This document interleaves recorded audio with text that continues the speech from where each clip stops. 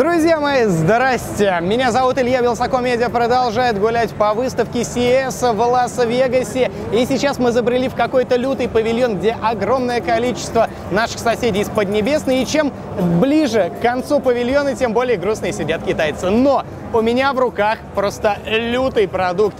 Гений инженерной мысли Китая — это дрон и чехол для смартфона. Два в одном, блин.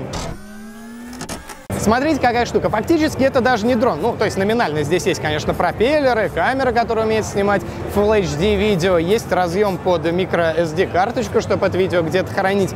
Но на самом деле мы все прекрасно понимаем, что это селфи-палка, но только без палки. Эту вещь вы достаете из чехла, запускаете, управляете из приложения, фотографируете себя на фоне какой-нибудь красивой достопримечательности. К сожалению, у нас тут с красивыми достопримечательностями так себе.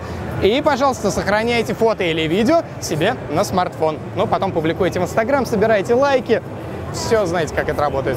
Сделано как-то, ну, немножечко неказистенько, просто, я бы даже сказал. Управляется все дело это по Wi-Fi. Нам тут заливают про радиус действия в 150 метров, но в реальности, наверное, метров 50 максимум, куда эта вещь сможет улететь. Складывается и раскладывается все очень просто. Заправляем, значит, пропеллеры в дрон.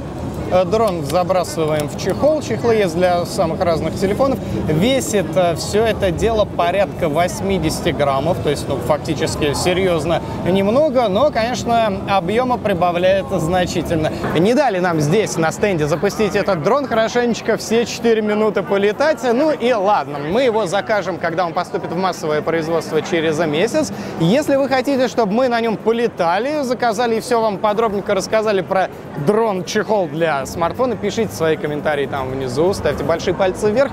Мы всегда это очень любим и ценим. А мы продолжаем искать для вас дичь и годнотулечку на CES 2018 года. До встречи здесь на YouTube. Пока.